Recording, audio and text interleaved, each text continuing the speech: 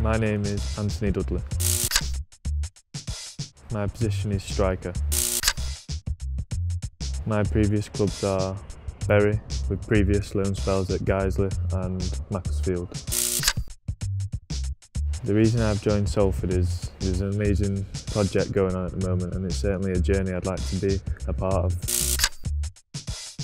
My best moment in football to date is my senior debut for Bury.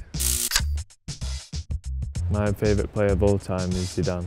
Just the way he uses his body and manipulates the ball left and right. That's why he's my favourite player. My first memory of football is joining Medicide, Enston Medicide at under fives and competing.